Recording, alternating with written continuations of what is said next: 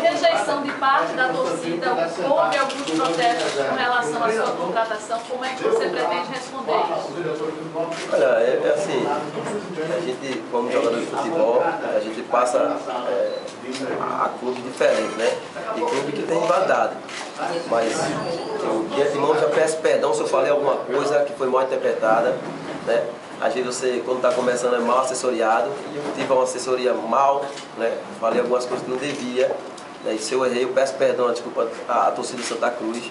Né? Foi um clube que me projetou.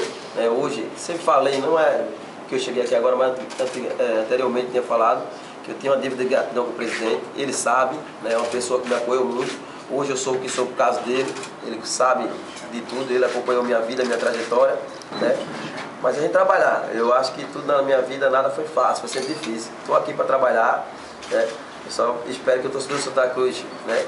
que, que venha nos apoiar, né? que venha me ajudar para que a gente possa botar o Santa Cruz no lugar que ele merece. Ô Bala, você tem uma responsabilidade maior por Zé estar tá bancando sua contratação? Olha, eu, é, é, minha vida sempre foi de responsabilidade, né? Eu fiz uma filha, já tem oito anos, o menino tem dois. Então a comida já é em dobro, né? Então eu sempre, desde, desde meus 16 anos, né, quando eu comecei no Santa Cruz, é, eu sempre tenho na minha, na minha cabeça de ser uma pessoa responsável e assumir a responsabilidade. Né?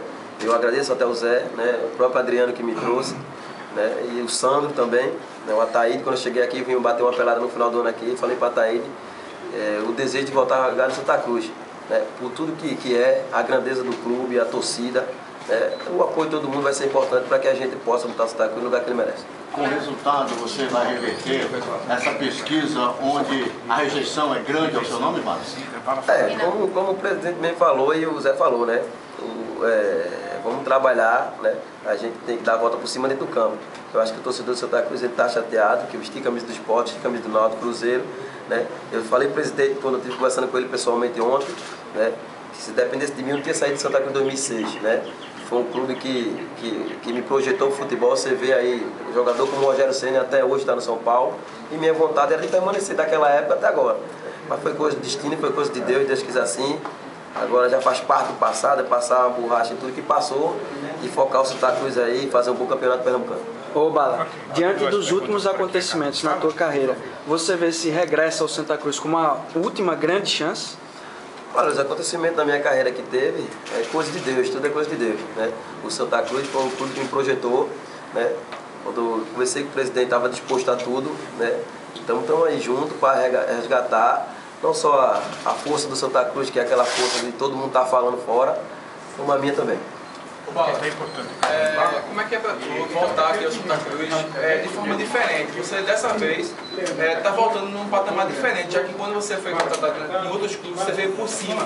Agora podemos dizer que você está vindo por baixo, está vindo com contrato de risco. É a primeira vez que isso está acontecendo na tua carreira. Como é que tu está encarando essa situação?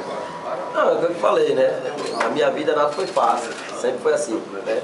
Desde do, da, da ajuda do presidente que hoje está aqui do meu lado, até agora, a minha vida sempre foi risco.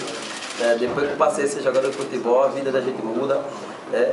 E a gente sempre o risco na vida. Então, estou acostumado com essas coisas. Se eu vim aqui foi porque o, o, o, o projeto que o Zé, toda a diretoria propôs para mim é importante e eu estou junto a pegar com eles aí, essa caminhada aí. Mas além de TV, Ô Bala, como vai ser a tua relação com a organizada do clube, a Inferno Coral? Olha, sempre tive amizade. Eu, por onde eu passo, eu tenho amizade com todo mundo. Não é que é, é Inferno Coral. Hoje eu tenho que vestir a bandeira do Inferno Coral, como eu vestia do Náutico, do Esporte, e eu sempre do Fortaleza, do Cruzeiro. Hoje a bandeira do meu time é Inferno Coral, vou vestir Inferno Coral, vou botar boné, vou fazer tudo que eu fazia nas outras equipes.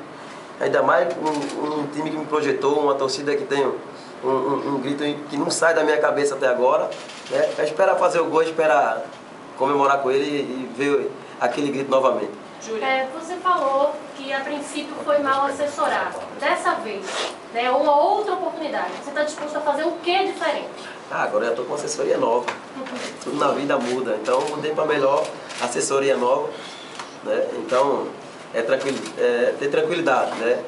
É, eu acho que na nossa vida a gente tem que passar uma, uma, uma, uma borracha nos erros. Né? A gente erra, eu tenho minha personalidade, não vou mudar. Né? Mas a gente tem, tem que ter cabeça no lugar e, e, e fria. E outra coisa que a partir de agora vocês vão me ver pensar antes de responder qualquer coisa.